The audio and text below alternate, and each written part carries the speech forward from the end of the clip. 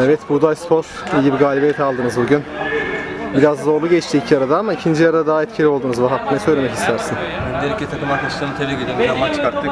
Bundan iki gün önce bir maçlar yapmıştık. Bayağı bir yorulduk. İkinci galibiyetimizi aldık üst üste. Devamını bekliyoruz. Rakip iyiydi yine genç bir takım. Biz iyice gitgide daha iyi takım olmaya başladık. Yeni yeni bir arkadaşım takıldı.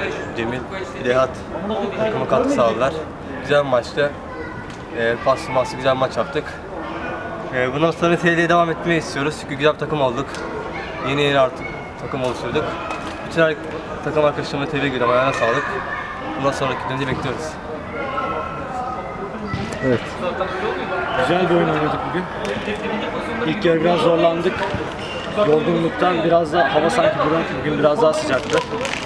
Biraz fizik olarak düştük ama ikinci yarı daha aktif ve paslı oynayarak e, son vuruşlarda biraz daha başarılı olsaydık daha farklı bir galibiyet alabilirdik. Ama güzel bir oyun oldu. Tebrik ediyorum arkadaşlarımı. Süper oynadılar. Evet sen En son tabii bana geldiğini Pres ve baskıyla oyunu da yine önde bitirdik. Yani en son cumartesi maç yaptık ve bayağı bir yorgunlukla yine geldik buraya.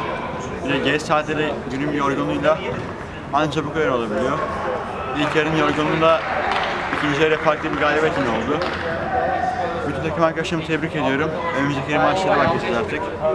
Üstte serileri bekliyoruz. biz de tebrik ediyoruz arkadaşlar. Sağ olun.